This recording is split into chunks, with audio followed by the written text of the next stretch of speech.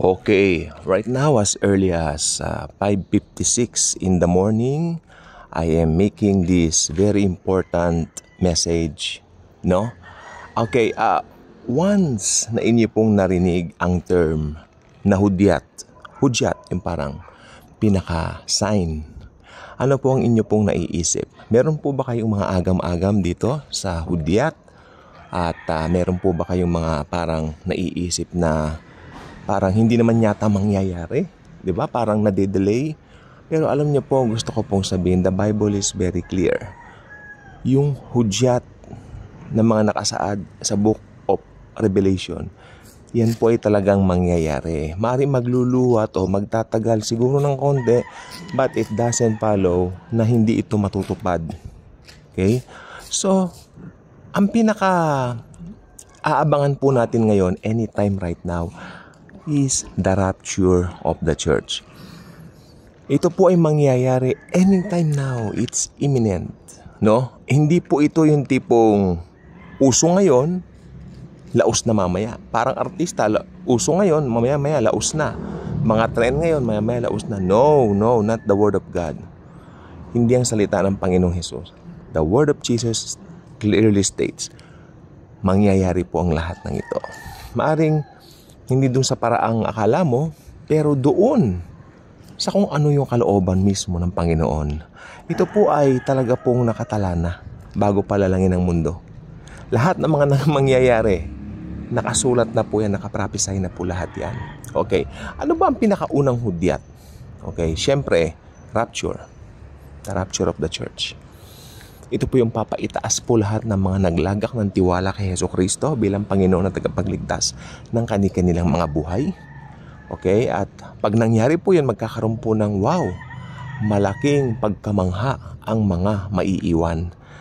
But, meron pong isang person, may isang tao na lalabas during this time. During that time na pagkatapos naganap ng rapture. Ito po yung tinatawag na the lawless one isa po siyang magiging tanyag na tao na magiging popular siya sapagkat yung chaos during that time, siyempre nawala tayong mga Kristiyano. Ang mga tao po mamamangham pong talaga. Okay? Sa pagkamangha po ng mga tao, maguguluhan sila and all that, you know. Pero may isang taong lalabas, sasabihin niya, kinuha sila ng mga alien. At mamamangha sila sa karisma ng taong ito. Ito po yung Antikristo the lawless one, the Antichrist. Okay? Pero tingnan niyo po yung pagkakasunod-sunod ng event ng mga pangyayari. Na-rapture na po tayo paglabas niya, hindi ba? So, hindi po natin siya maaabutan because we are believers sa church age. I hope na iintindihan po ninyo ang mga pagkakasunod-sunod ng mga pangyayari dahil napaka-importante po na alam natin ang lahat ng ito. Ito po ay hindi parang isang bagay na alam mo ngayon maya-maya dead man ha, hindi mo na pinapansin. No, dapat ito po ay alam mo sapagkat, sabi ko nga po kanina sa so umpisa ng programang ito, ng vlog na ito, lahat po ay matutupad at matutupad. So yan, pag ang antikristong ito ay naging saligan na ng kanilang kapayapaan, yes, bibigyan niya ng false hope ang mga tao. Okay? Ngayon, itong Israel, sila po ay mamamangha dito sa taong ito at ito ay kanilang magiging kaibigan. Makikipag-peace treaty ang Antikristo sa kanila regarding their third, third temple. Third temple na itatayo. Okay yan, maganda yan. Sabihin niya din, wow, mahusay pala itong taong ito. At hindi lang po yon Magiging napaka-popular po ng taong ito pagsamasamahin mo ang popularity ng The Beatles, ni Elvis, Taylor Swift ngayon, yung mga art- lahat ng artistang sumikat dati, pagsamasamahin mo kasikatan nila, wala pa sa one-fourth ng kasikatan ng taong ito. Alam nyo kung bakit? Buong mundo makikilala ang taong ito. Ang Antikristo. Makikilala siya ng buong mundo, bata, matan. Huh? I believe ang mga bata noon na-rapture na rin eh. Kasi ang mga bata, wala namang age of accountability. Siguro yung pinakabatang age during that time. Kulang na lang pati mga animals makilala siya. Kung may mga animals mga dito na maiiwan during that time. Sobrang popular po talaga. Ito po ay walang halong biro. Mamamangha ka na lang na may isang tao na napaka-popular sa buong mundo. To the fact na talagang sinusunod nila lahat ng mga sinasabi niya mga payo. Ayan. Okay, so ito na nga po, yung third temple ng mga Hudyo na natayo na dahil nakipag-peace treaty ang Antikristo. Ayan na naman po ang panibagong hudyat, third temple. Hindi po ba? Third temple. Susunod na hudyat, ito yung pagtataas ng Antikristo sa kanyang sarili bilang Diyos. Ha! Sinasabi ko na nga ba, kaya pala napaka-popular niya. To the fact na magdidemand siya ng worship sa mga tao Grabe yung popularity, popularity niya kasi tingnan po ninyo, isipin niyo mabuti, magdidemand siya ng worship sa mga tao at alam niya susunod ang mga tao. At alam niya sinusunod siya ng mga tao. Pero itong Antikristo meron po siyang sidekick. Ito yung false prophet na tinatawag. Manggagaling po ang false prophet na ito sa Jerusalem, sa Israel. Pero yung Antichrist, I believe, isa po siyang member ng UN, United Nations. So, manggagaling po mostly ito sa Europe. So ayun po. So pag tinaas na po ng Antikristo, alam niyo po ba kung saan po itataas ng Antikristo yung kanyang sarili? Doon po sa third temple na kanilang itinayo. Doon po siya papanik, aakyat. Ako ang Diyos, kanyang sasabihin. At nagdidemand ako to each and every one na magpatatak kayo sa aking pangalan. Ito po yung 666. Ito po ay microchips na ilalagay sa mga kamay ng mga tao mga naiwan sa rapture. Pero maganda po nito, during the tribulation, magkakaroon tayo ng mga tribulation saints. Maraming maboborn again during that time. Pero kalungkot po, iba po ang paraan ng kaligtasan during this time. You have to have faith in Jesus. Yes, check. But, yung dugong mabububo, hindi na po dugo ni Jesus yan. Dugo mo na pong sarili yan. Okay? Kasi ito po yung kondisyon ng Antikristo. Ang sino mang sa kanya'y hindi sasamba, papupugutan niya ng ulo. Okay. Sabi ko nga po, ang basihan ng kaligtasan during this time ay faith in Jesus but yung dugong mabububo, hindi na po yung dugo ni Jesus. Tapos na po ang church age during that time. So kailangan yung sarili mong dugo ang mabubo. Magpapugot ka na lang ng ulo. Kasi pag hindi ka nagpatatak, papupugutan ka ng Antikristo. Pag nagpapugot ka ng ulo, may pananampalataya kay Heso Kristo, pupunta ka ng langit. Amen? Amen. Mahirap pong maligtas sa tribulation. Okay?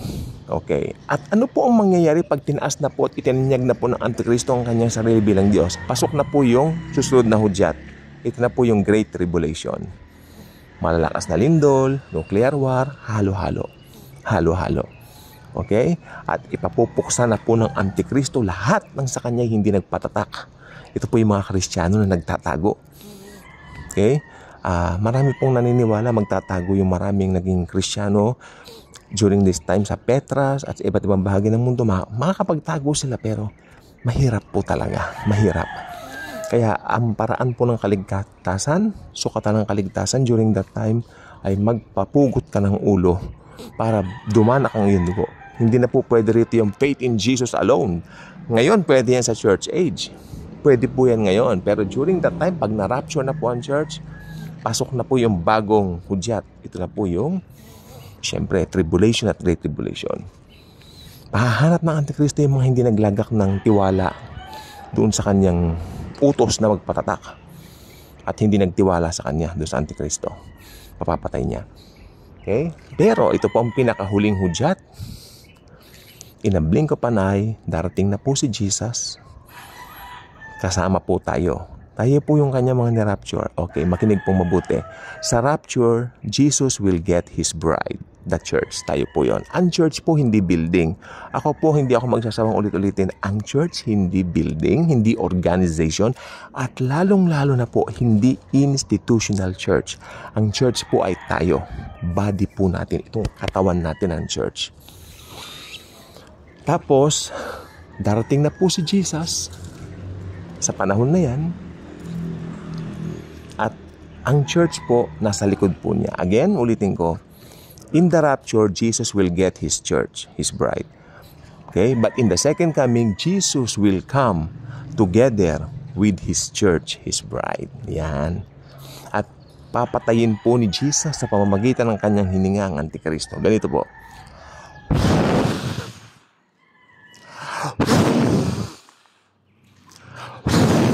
Yan. Ganun po ang gagawin ng Panginoong Heso Kristo dito sa Antikristo. So lahat po ng yan mangyayari. Ito po ay hindi po ah, parang nagluluwat, kung nagluluwat eh, hindi na matutupad. Alam po ba ninyo, kung kailan kalmado ang lahat, doon mangyayari, doon magte-take place. Okay? Ang mga bagay na ito. Then after that, yun na po ang pinakahuling hudyat, napatay na po ang Antikristo and sunod-sunod na po yan papunta ng eternal, eternality or eternal life. Okay? So, lagi po tayong magpapalakasan ng loob, sinasabi ni Apostol Pablo po sa atin, dahil yan at yan po ang atin pong tanging magiging sandigan sa magulong bundong atin pong ginagalawan ngayon. May blessed hope po tayo. Ang blessed hope natin mangyayari po sa rapture. Kung kailan kukunin na po tayo ni Jesus para mag mapasa kanya magpakailan-kailan pa man. Kaya kung hindi ko pa subscriber sa channel na ito, I invite you to do so. Click the notification bell, share this video, share the wonderful love of the Savior, the Lord Jesus Christ. Again, I would like to remind you, anytime po, rapture na. Thank you, and Jesus truly loves us all.